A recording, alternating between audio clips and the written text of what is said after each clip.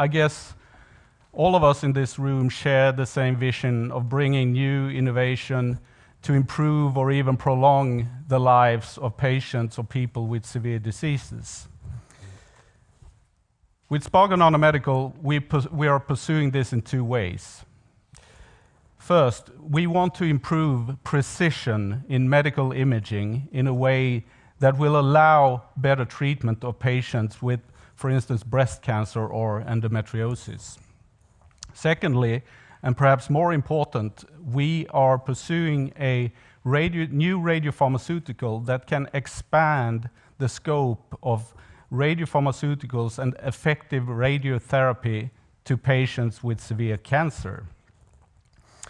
Right now, we are very much focused on cancer that uh, affects women, uh, like breast cancer, and we are very interested in ovarian cancer. We are also, with our imaging project, looking into endometriosis, uh, which is a disease with a very, very high need of new diagnostics and a disease that affects millions of women worldwide. And the results we have got with our SpagoPix program, our imaging program, shows that we have a technology that allows us to accumulate our nanomaterial selectively in tumor lesions and perhaps also in endometrial lesions.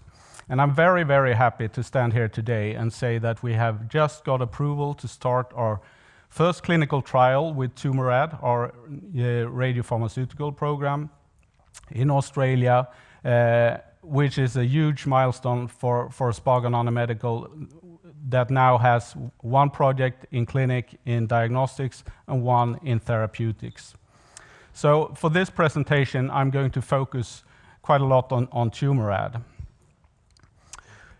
And what makes Tumorad unique is the ability to target several types of cancers. The radiopharmaceuticals today that are approved or in late-stage pipeline are all directed towards a single type of cancer by means of their targeting mechanisms. What we want to do is to broaden that scope. So if we look into the mechanism by which uh, Tumorad accumulates in in tumors, I will come back to this in a second as well, we can see that there are several tumor types that could be targetable by this pharmaceutical, like colorectal, like breast cancer, uh, gastric, and ovarian. And it's important to say that with breast cancer, we already generated imaging data that shows that we can selectively accumulate eh, in the breast cancer eh, tumors. We do recognize that ovarian cancer is a eh, is an indication of huge medical need. There are few treatment opportunities. It's a devastating disease, and we do think that there are good reasons to go with that indication for Tumorad as well. So we see that Tumorad uh, can can provide a treatment opportunity both as a monotherapy but also in combinations with existing uh, therapies. So how do we do this? Well, we are we have developed an optimized platform uh, of polymeric nanoparticles that are very safe in the human body and that can accumulate selectively in the tumors. This sounds easy. I can tell you it's not. It has taken quite some time to get where we are today. Uh, and what we found out during the the uh, development of the imaging project is that this material has the ability to bind in a very, very, very tight way and a very stable way, clinically proven radioisotopes, which means that we can use this material as a radiopharmaceutical.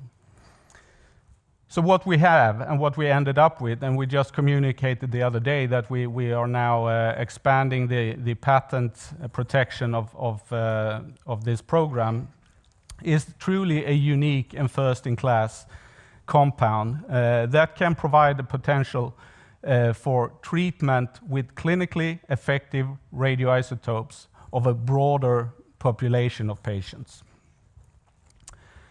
So we've come a good way with this, and as I said, we've proven that we can uh, visualize selectively breast cancer. Uh, we have proven in the animals that we can see also tumors there of different kinds. Uh, we have preclinical data that supports clinical translation, both in terms of safety and regulatory studies. Uh, and of course, we have survival data that shows that we can prolong the life of uh, animals with cancer. So all of this leads up to the first clinical trial with Tumorad, which I'm extremely happy to say that we are now starting in Australia. It's a phase I/IIa trial in cancer patients with the aim of obviously documenting initial safety and uh, escalating doses. More importantly, during the phase I, since this is a radiopharmaceutical, we have the ability to trace it within the body and through the body, which means that at a quite early stage, we will be able to predict the potential to reach a favorable benefit-risk profile with this compound. So that's a very important milestone that we hope that we'll be able to reach during first half of next year. Uh, and running the study in Australia, just commenting on that, may, as it may seem a bit strange to go all across the world, uh, they have a very beneficial uh, reimbursement system there for R&D costs, which means that we can get back approximately 43% of of what we pay there for for doing the trial. So it's a very cost-effective way of doing a clinical trial.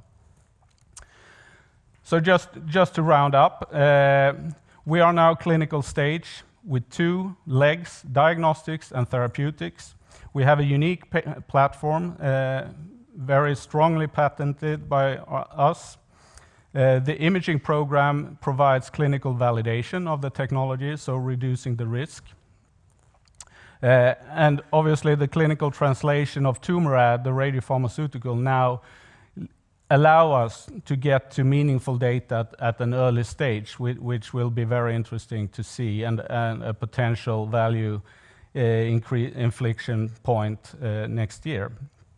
So we see a lot of things happening in the in the near term, and it's very exciting. So I will stop there and um, be happy to take questions. Thank you.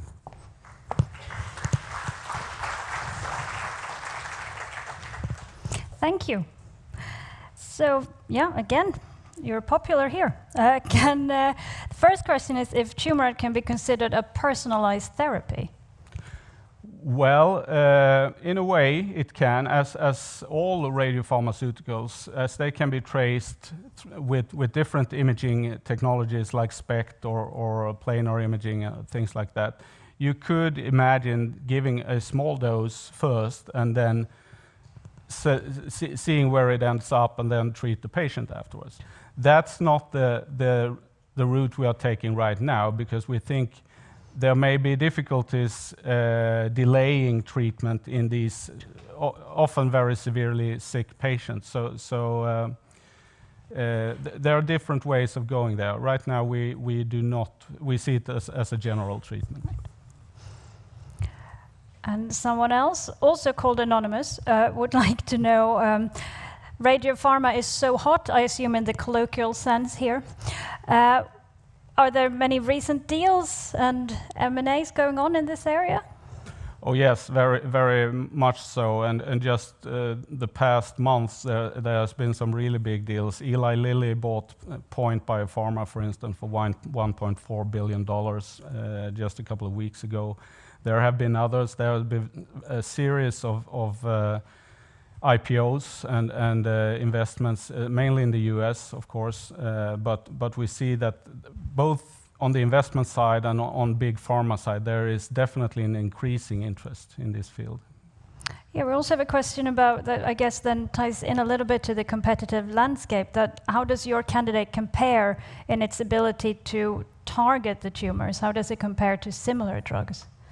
Well, I mean, there aren't much similarity in the sense that we are we are utilizing a physiological targeting mechanism rather than a molecular targeting mechanism. So what we see, the agents that are approved today are based on peptides or antibodies, or, and also in the late-stage pipeline, that's what we typically see.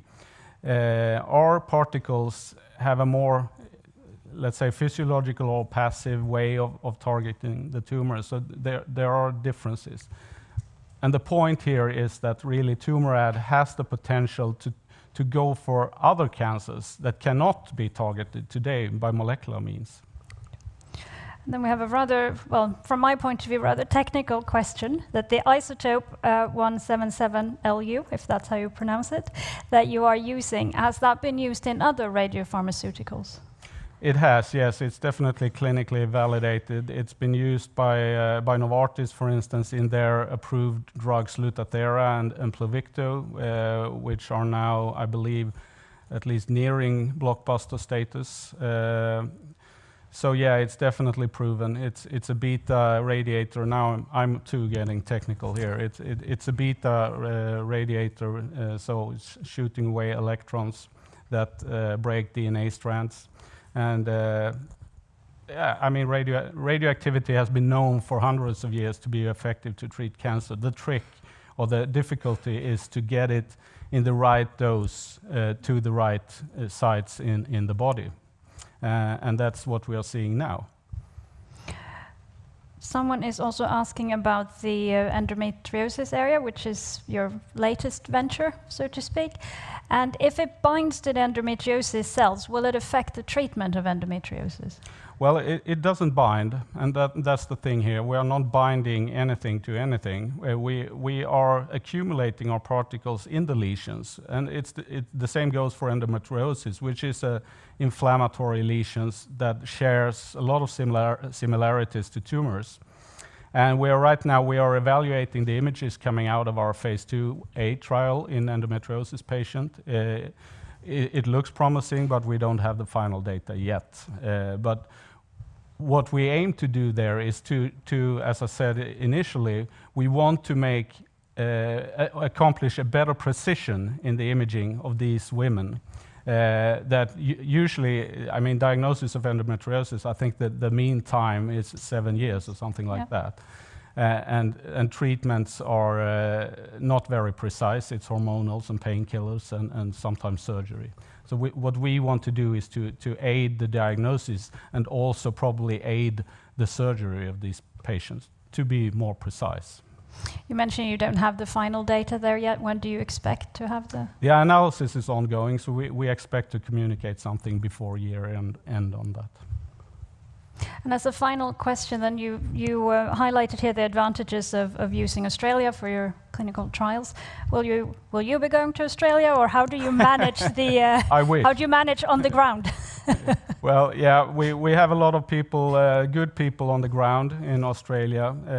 So it, it's... and we have our very competent and good Chief Development Officer here as well, who is managing the trial in an excellent way. Uh, he will probably go there. So Paul will go to Australia. He will probably go there, lucky him, but uh, not I. Well, okay. So Paul's the lucky one, and I guess you're lucky in the sense that the presentation and the Q&A is now over. Thank you very much. Thank you. Thank you, Mats.